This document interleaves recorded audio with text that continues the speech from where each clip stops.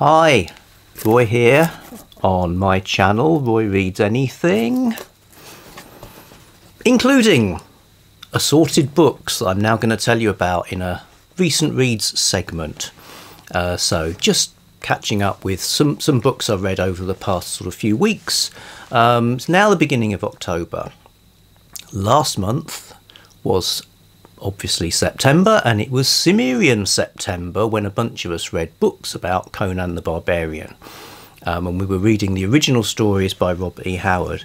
And in the dying hours of that month, I spotted on the Mojo Wire that there had been a new Conan pastiche story published.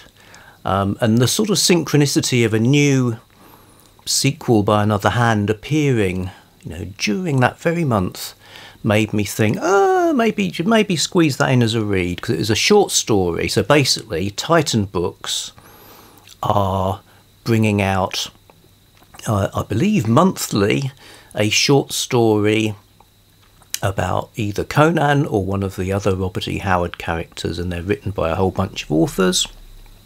And the first of these has appeared for 199. Uh, that being Conan, Lord of the Mount. Lord of the Mount by Stephen Graham Jones. So I gambled my 199, downloaded that story and read it.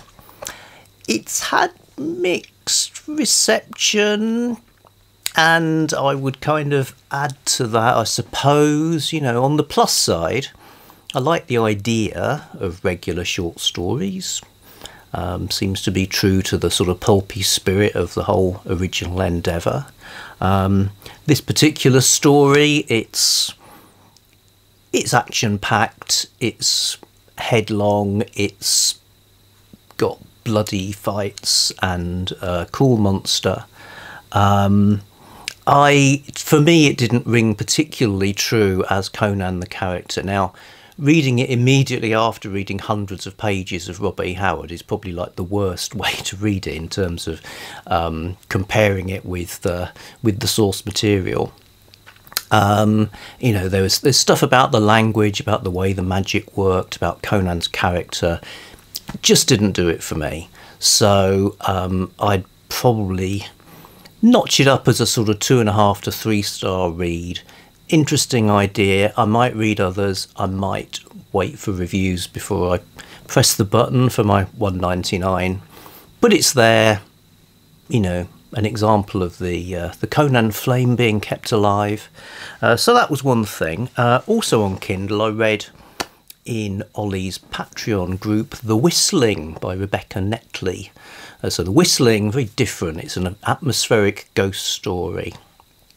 A woman who is a governess goes to uh, a big house on a on a remote island. Um, interesting how governesses are a sort of staple of fiction. I suppose they have sort of mobility. You know, they have a reason to turn up into a, a situation, and um, they've got a little more flexibility in their working day than, say, a housemaid would.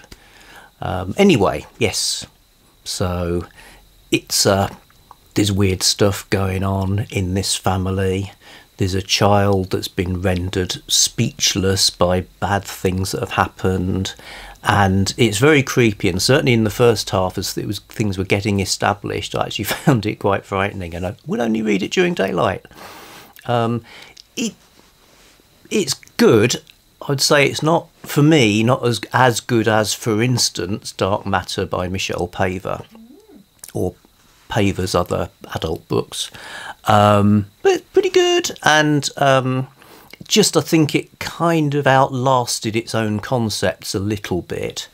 And by the end, it was it stopped being frightening. It was just like, oh, how's it going to be resolved? Who's who did what and to whom and why? Um, but yeah, good. I I liked it. Um, and then I didn't set out to do Shorty September, but I have accidentally done one of the prompts because I was in a bookshop and I picked up Termush by Sven Holm, um, which is a sort of 100 page long uh, speculative fiction novella. Um, and I just got it because the blurb was interesting. I thought it looked nice. Now, you know, I don't generally enjoy the tendency towards semi-abstract covers, um, but this this one's actually quite nice. So I thought, well, nice book, interesting. So bought it. So basically, it's a it's a post-apocalyptic story. The first-person narrator is one of a group of, of rich people who have paid to live in a hotel that has all the sort of bunkers and food supplies and clean water supply, etc., beneath it. So they had, you know, is all, all prepared, and then when when bad things began to happen, they've moved into this hotel, and now they're things are calmed down a bit, and they're living in the hotel part in a kind of quite you know, not unpleasant and but obviously restricted life. Um, now and again, they have to go down into the shelters because of um, you know the radiation levels are a bit high. Um, very sort of subtle and I was going to say muted is sort of, um, you know, it's not a dramatic post apocalyptic thing. Um, I thought while I was reading it, because I deliberately just plunged into it, I didn't read the intro by Jeff Vandermeer or anything. I thought, oh, this is a good. Good analogy for the pandemic you know sort of people trapped in a situation that not not too bad like lockdown, but on the other hand, it's terrible and frightening. Uh, but it turns out it's written in 1967, so obviously not a pandemic novel, um, although we can read it as such now. Um, I read this on the day after I'd had a, a, a, COVID shot, actually, so I was feeling fairly dreadful. So, good time to be reading about characters getting radiation sickness. um, and it you know, got me thinking about how I've always lived with this sort of stuff, being in the sort of post atomic, born into the atomic era. My bones have the strontium 90 in them. Um, you know, the I the 80s, I, there, there was sort of atomic panic then, but I even remember as a tiny child, although I didn't understand the news or what people were talking about, I can remember having a dream that showed that I had somehow absorbed the sort of um, the idea of the atomic, you know, danger from potential atomic destruction. And at the same time, there was like the supposed, you know, Stingray on the television was an atomic powered submarine, and it's part of the sort of technological advances. Anyway, so it's it's a post apocalyptic.